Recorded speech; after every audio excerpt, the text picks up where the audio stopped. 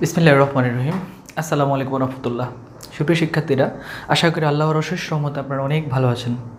যাই হোক, আমরা দ্বিতীয় অধ্যায় শেষ করার পর এবার অধ্যায় তিনের দ্বিতীয় ভিডিও নিয়ে আমরা আসলাম এখানে। তো আজকের ভিডিও অবশ্যই অনেক বেশি গুরুত্বপূর্ণ, কারণ আমরা আজকে যে জিনিসটা জানব, যারা হিসাব বিজ্ঞানের মধ্যে লেনদেনসমূহর বিভিন্নভাবে আশ্রয়স্থল হিসাবে কাজ করে। অর্থাৎ হিসাব বিজ্ঞানে যে ঘটে যাওয়া যে সকল লেনদেনগুলো হিসাবভুক্ত করা হয়, আমরা ওই লেনদেনগুলো যে সকল বইতে লিপিবদ্ধ করি আজকের ভিডিও তাদেরকে নিয়ে। তা আসেন, শুরু করা যাক, দেখি আজকের ভিডিওতে আছে কি। দুতরফা দাখিলা পদ্ধতির রক্ষিত হিসাবের বৈষম্য আমরা গত ক্লাসে অবশ্যই আলোচনা করেছি যে দুতরফা দাখিলা পদ্ধতি কী এবং দুতরফা দাখিলা পদ্ধতি কাদেরকে নিয়ে কথা বলে। আর দুতরফা দাখিলা পদ্ধতির মূলনীতিসমূহ কী? এগুলো আমরা গত ক্লাসে অবশ্যই আলোচনা করেছি। আমাদের গত ক্লাসটা যারা দেখবেন, তারা বুঝতে পারবেন যে আসলে দুতরফা দাখিলা পদ্ধতি কী। এছাড়াও দুতরফা দাখিলা পদ্ধতি যে সকল বই নিয়ে কাজ করে, সেগুলো নিয়ে আজকে আমরা কাজ করব। কারণ আমরা জানি, আমরা চিন- চিনেছি যে লেনদেনসমূহ, সেগুলাকে এখন কোন কোন বইতে কোন ধরনের লেনদেনগুলো আসে? যেহেতু লেনদেন অসংখ্য, সুতরাং এটা ধরন অসংখ্য। এই অসংখ্য লেনদেনের অসংখ্য ধরন অনুযায়ী তাদেরকে বিভিন্ন ভাগে ভাগ করে বিভিন্ন বইতে লিপিবদ্ধ করা হয়। তার মধ্যে প্রধান যে দুইটা বই দুতরফা দাখিলা পদ্ধতি ফলো করে, তা হচ্ছে যে জাবেদা এবং খতিয়ান। একটা হচ্ছে হিসাবের প্রাথমিক বই একটা হিসাব হচ্ছে হিসাবের পাকাপাকি বা চূড়ান্ত বই। আবার একে হিসাবের বৈষম্যের রাজাও বলে। কাকে? খতিয়ানকে। এটা হচ্ছে হিসাবের প্রাথমিক বই। সর্বপ্রথম যে লেনদেনগুলো আসে, সেগুলো আগে এই বইতে লিপিবদ্ধ করা হয়। আর এটা হচ্ছে চূড়ান্ত বই, অর্থাৎ লেনদেনের সর্বশেষ আশ্রয়স্থল। এরপরে লেনদেন আর কোনো জায়গায় আশ্রয় গ্রহণ করতে পারে না। এরপর আসেন, এই পার্টটাকে নিয়ে আগে আমরা কথা বলি, সেটা হচ্ছে জাবেদা। জাবেদা তাকে তার ধরন অনুযায়ী ছয় ভাগে, সাত ভাগে ভাগ করা হয়েছে। One two three four five six seven সাত ধরনের জাবেদা বই আছে। অর্থাৎ হিসাবের প্রাথমিক বইসমূহ কয় ধরনের? সাত ধরনের আছে। এখন আমরা জানব লেনদেন সমূহ থেকে খুঁজে নিব কোন কোন লেনদেন কোন কোন ধরনের জাবেদায় লিপিবদ্ধ করা হয়। আসেন, প্রথম হচ্ছে যে ক্রয় জাবেদা। হিসাবের প্রাথমিক বইয়ের প্রথম জাবেদা যেটা, সেটা ক্রয় জাবেদা। ক্রয় জাবেদা হচ্ছে যে সকল প্রকার ধারে ক্রয় লিপিবদ্ধ করা হয়। অর্থাৎ এখানে কোনো নগদে ক্রয় বিক্রয় আসবে না।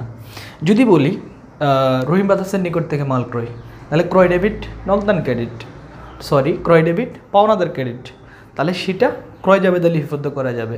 অন্যদিকে যদি বলি শুধু মাল ক্রয়, তাহলে ক্রয় হিসাব ডেবিট নগদান ক্রেডিট, সেটা কিন্তু এখানে আসবে না। অর্থাৎ যে সকল জাবেদার ডেবিট ক্রেডিট পক্ষের আনসারে থাকবে, ক্রয় হিসাব ডেবিট, পাওনাদার ক্রেডিট, আমরা তাদেরকে ক্রয় জাবেদা লিপিবদ্ধ করব।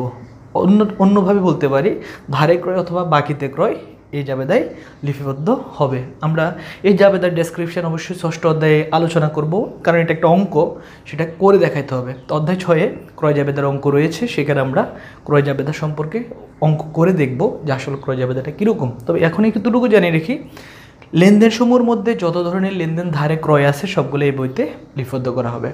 তো সুপ্রিয় শিক্ষার্থীরা, ক্রয় জাবেদা ক্লিয়ার এবার আসেন বিক্রয় জাবেদা বিক্রয় জাবেদা বলতে বোঝাই, তাও ওই ক্রয় যেহেতু ধারে ক্রয় হয়, তাহলে নিশ্চয়ই বিক্রয়টা আমরা এতক্ষণে বুঝে গেছি, ধারে বিক্রয়। অর্থাৎ যে সকল লেনদেনে ধারে বিক্রয় থাকবে, অর্থাৎ যে সকল লেনদেনের ডেবিট ক্রেডিট পক্ষে দেনাদার ডেবিট বিক্রয় ক্রেডিট এই কথাটা থাকবে, আমরা ওই সকল লেনদেনকে বিক্রয় জাবেদায় লিপিবদ্ধ করব। তার মানে বোঝা যাচ্ছে যে কি? অসংখ্য লেনদেন থেকে ধারে ক্রয় চলে যাবে ক্রয়ের জাবেদায় ধারে বিক্রয় চলে আসবে বিক্রয়ের জাবেদায় এবার আসেন, বিক্রয় জাবেদা আমরা সেম টু সেম ষষ্ঠ অধ্যায়ে, অধ্যায় ছয়, সেখানে আমরা বিক্রয় জাবেদা করে দেখব। এটা কীরকম? এটাও একটা অঙ্ক, আমরা সে তখন আলোচনা করব। এবার আসেন ক্রয় ফেরত।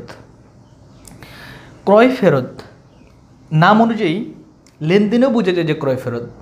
ক্রয় ফেরত জাবেদা শুধুমাত্র ক্রয় ফেরতগুলোকে কী করা হয়? লিপিবদ্ধ করা হয়। আর ক্রয় ফেরত জাবেদার মানে যে সকল কৃত পণ্য আমরা বিক্রয় করি সরি কৃত পণ্য আমরা ফেরত দিই, যে সকল পণ্য আমরা কিনে নিয়ে আসি, তার বিভিন্ন কারণে আমাদেরকে হয়তো ফেরত দিতে হয়। যদি গুণগত মান ঠিক না থাকে এক্সপায়ার ডেট ঠিক না থাকে, অথবা আপনার পণ্যের মান যে ধরনের পণ্য দেওয়ার কথা ছিল সেই পণ্যটা দেওয়া হয়নি, তাহলে সেই সকল জিনিস আমরা দোকানে রেখে দিই না। তা আমরা কী করি? ফেরত দিই। আর ক্রয়কৃত পণ্য ফেরত দেওয়াকে বলে? ক্রয় ফেরত। তাহলে ক্রয় ফেরত যাবে দেয় এই যাবে দেয় সকল ক্রয় ফেরত, যত ধরনের পণ্য আমরা কৃত পণ্য ফেরত দিই, সবগুলো এই লেনদেনে লিপিবদ্ধ করা হবে। এছাড়া একে অনেকে আবার ডাকে বহি ফেরত বহি ফেরত মানে ফেরত চলে যাওয়া। তাও মানে কৃতপণ্য ফেরত দেওয়া। কেউ আবার ডাকে বহির্মুখী ফেরত বহির্মুখী ফেরত মানে বাহিরের দিকে যে ফেরত যায়, একমাত্র কৃতপণ্যই বাহিরের দিকে ফেরত দেওয়া সম্ভব। পণ্য বিক্রি করলে বিক্রয় আমাদেরকে ফেরত দেবে, কিন্তু পণ্য ক্রয়ের ক্ষেত্রে শুধুমাত্র একটা মাত্র ক্ষেত্র আমরা যদি কাউ থেকে কিনি, তাহলে ফেরত দেওয়ার সুযোগ থাকে। তাহলে একে কে ক্রয় ফেরত ডাকে, কেউ বহি ফেরত ডাকে, কেউ বহির, বহির্মুখী ফেরত ডাকে, আর কেউ ফেরত দেওয়া হলো বলে। সবগুলো একই কথা। তাহলে আশা করি ক্রয় ফেরত যাবে আমরা বুঝে গেছি। লেনদেন সমূহ থেকে যে সকল লেনদেন দ্বারা ক্রয়কৃত পণ্য ফেরত দেওয়া বোঝাচ্ছে, তারা সবাই এই বইতে অন্তর্ভুক্ত হবে। এরপর আসেন বিক্রয় ফেরত যাবে দা তো সুপ্রিয় শিক্ষার্থীরা, আমরা যেহেতু ক্রয় ফেরত বুঝতে পেরেছি, তাহলে বিক্রয় ফেরত বোঝাটা আমাদের জন্য কি হবে? সহজ হবে। অর্থাৎ, যদি কখনো পণ্য বিক্রয় করার পর অত্র পণ্য কি আসে? ফেরত আসে। আমাদের কাছে চলে আসে। অর্থাৎ আমরা বিক্রয় করছি, এখন হয়তো কোনো কারণে পণ্য যে মান যে অনুযায়ী চেয়েছে আমরা তা দিতে পারি নাই, অথবা আমাদের ভুলক্রমে হয়তো তাদের পণ্য যেটা দেওয়া হয়েছে সেটা গুণগত মানে কোনো সমস্যা ছিল। তাহলে আমরা বিক্রি করেছি, তাহলে সমস্যা থাকলে তারা আমাদেরকে ফেরত দেবে। অর্থাৎ আমাদের কাছে ফেরত আসলো। তো যে ফেরত বিক্রিকৃত পণ্য ফেরত আসা মানেই বিক্রি ফেরত। একক ক্রয় ফেরতের মধ্যে কয়েকটা নামে ডাকা হয়, আন্ত ফেরত। আন্ত ফেরত মানে আন্ত মানে নিজের দিকে, ফেরত মানে আসলো। অর্থাৎ যে ফেরত নিজের দিকে আসে। অন্তর্মুখী ফেরত, তাও নিজের মুখী ফেরত যেগুলো সেগুলা এবং ফেরত আসলো। অর্থাৎ বিক্রি ফেরতকেও চার তিন চারটা নামে ডাকা হয়। বিক্রি ফেরত আন্তঃফেরত অন্তর্মুখী ফেরত এবং ফেরত আসলো। অর্থাৎ কারও কাছে বিক্রি করলাম, সে পণ্য ঠিক না থাকে আমাকে কী করল? ফেরত দিল।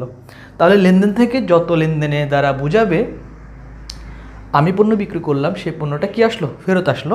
তারা সবাই বিক্রি ফেরত যাবে দেয় আসবে।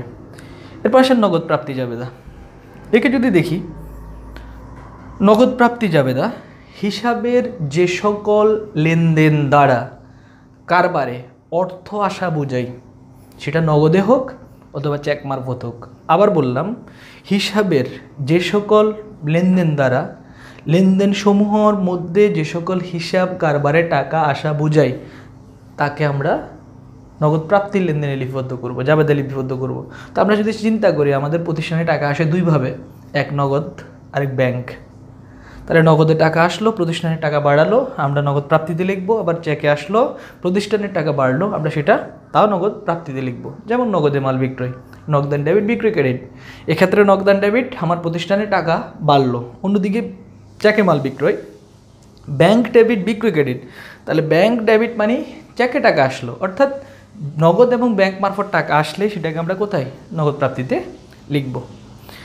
তাহলে বোঝা গেল কি?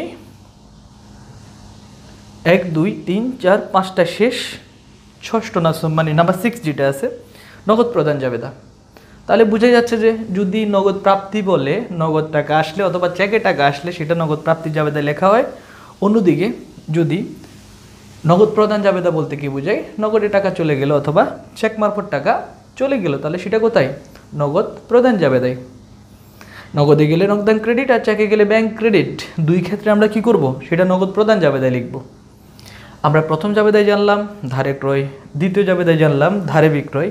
তৃতীয় জাবেদায় জানলাম, ফেরত, ক্রয় ফেরত সমূহ মানে যে সকল ফেরত আমরা দেই, তৃতীয় জাবেদায় বিক্রয় ফেরত সমূহ, অর্থাৎ যে সকল ফেরত আমাদের কাছে আসে, নগদ প্রাপ্তি প্রদানে জানলাম, কোনো কারণবশত যদি নগদ টাকা অথবা ব্যাংকের মাধ্যমে কারবারে টাকা আসে, তাহলে আমরা নগদ প্রাপ্তিতে লিখব, আর নগদ প্রদান, অর্থাৎ কোনো কারণে যদি নগদের কারণে অথবা ব্যাংকের কারণে প্রতিষ্ঠান থেকে টাকা চলে যায়, তাহলে ছয় ধরনের জাবেদা লেনদেন সমূহ ছয় ধরনের জাবেদায় বইতে যাচ্ছে। যে সকল লেনদেন এই ছয় ধরনের জাবেদার বাহিরে থাকবে, ছয় ধরনের জাবেদা বইয়ের বাইরে থাকবে, ছয় ধরনের লেনদেন বইয়ের বাইরে থাকবে, তাদের জন্য রয়েছে ফকৃত জাবেদা। আবার বলতেছি, যে সকল লেনদেন এই ছয় ধরনের জাবেদা বইয়ের বাহিরে থাকবে, তাদেরকে আমরা কী রাখব? প্রকৃত জাবেদা। যদি সেরকম উদাহরণ দিতে যাই আপনাকে যদি বলি বিনামূল্যে পণ্য বিতরণ, তাহলে বিনামূল্য পণ্য বিতরণ, বিজ্ঞাপন ডেবিট, ক্রয় শেফ ক্রেডিট। তাহলে এটা এর সাথে এখানে কারোর সাথে কি নেই? মিল নেই। তাহলে তার জায়গা কোথায়? প্রকৃত জাবেদাই অর্থাৎ এই জাতীয় জাবেদা যেগুলো রয়েছে, যেগুলো আমরা এখানের সাথে কোনো সম্পর্ক পাবো না, এই ছয়টার সাথে কোনো সম্পর্ক পাবো না, তাকে আমরা প্রকৃত জাবেদায় লিপিবদ্ধ করব। আমাদের হিসাবের প্রাথমিক জাবেদা সমূহ অর্থাৎ জাবেদার ক্লাসিফিকেশন সাত ধরনের, তার ডেসক্রিপশন আমরা করলাম। আশা করি আমরা এটা নিয়ে অঙ্ক করব ভবিষ্যতে, তখন আরও ক্লিয়ার হবে ইনশাল্লাহ। এরপর আসেন খতিয়ান, আগে বললাম, এদের সবার কাজ শেষ বা এদের কাজের লেনদেন, যতই লেনদেন আছে সবগুলা, তাদের ভিন্ন ভিন্ন, প্রত্যেক লেনদেনকে ভিন্ন ভিন্ন হিসাবের পক্ষগুলাকে তাদের নাম অনুযায়ী আলাদা আলাদা শিরোনামে সাজিয়ে, আলাদা আলাদা শ্রেণীতে সাজিয়ে একটা আলাদা আলাদা ঘর করে করে প্রস্তুত করা হচ্ছে খতিয়ানের কাজ। আবার বলতেছি, লেনদেনে থাকা হিসেবের পক্ষসমূহ যাদেরকে আলাদা আলাদা শিরোনামে সাজিয়ে আলাদা আলাদা ঘরে লিপিবদ্ধ করার নাম হচ্ছে যে কি? খতিয়ান। এখানে একই হিসাবের জন্য একাধিক কোনো ঘর করা হয় না। একটা হিসাব, ধরেন নগদান। অত্র অনুচ্ছেদে যত নগদ আছে তার কাজ নগদের জন্য একটা ঘরই হবে আর সকল নগদ ওই ঘরেই যাবে। যদি ধরি মূলধন, অত্র অনুচ্ছেদে, আমাদের যে অনুচ্ছেদে থাকবে, সেই অনুচ্ছেদে যত মূলধন আছে মূলধনের জন্য একটা ঘর। এইভাবে প্রত্যেকটা অ্যাকাউন্টস অনুচ্ছেদে থাকা প্রত্যেকটা অ্যাকাউন্টসের জন্য আলাদা আলাদা ঘর করে আলাদা আলাদাভাবে আপনার ধরন অনুযায়ী যার যার ঘরে তাকে দিয়ে যেই সমাধান দেওয়া হয় অথবা যে ছক প্রস্তুত করা হয়, তার নাম হচ্ছে খতিয়ান। তো এই কারণে খতিয়ানকে বলা হয় সকল বইয়ের রাজা, কারণ লেনদেনের সর্বশেষ আশ্রয়স্থল। ওর থেকে পরবর্তী অঙ্কগুলো কী হয়? সৃষ্টি হয়। তো সুপ্রিয় শিক্ষার্থীরা, এটা পরবর্তী কীভাবে যায় বা জাবেদা খতিয়ান তারা কীভাবে কে কাজ করে, তা আমরা হিসাব চক্রের মাধ্যমে কি করতে পারব? বুঝতে পারব যে আমাদের পরবর্তী ক্লাসে দেওয়া হবে। তা আজকের ক্লাস এতটুকুই। আগামী ক্লাসের অপেক্ষায় থাকবেন। আর আশা করি ক্লাসটা ভালোভাবে বলে, বুঝছেন সবাই। যদি কোনো কোশ্চেন থাকে, তা অবশ্যই জানাবেন যে, স্যার, আমি এই জিনিসটা বুঝি নেই, সেটা অবশ্যই আমরা পুনরায় কী করব? আপনাদের জন্য তৈরি করে দেবো। আগামী ক্লাস পর্যন্ত ভালো থাকুন, সুস্থ থাকুন, নিজের খেয়াল রাখুন। আল্লাহ হাফেজ, আসসালামু আলাইকুম রহমতুল্লাহ।